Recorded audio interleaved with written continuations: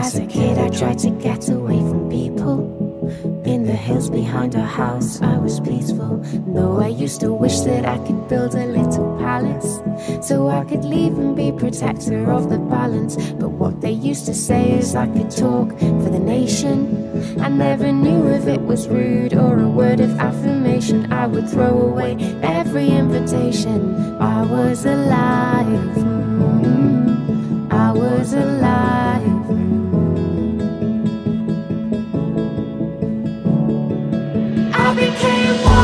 I became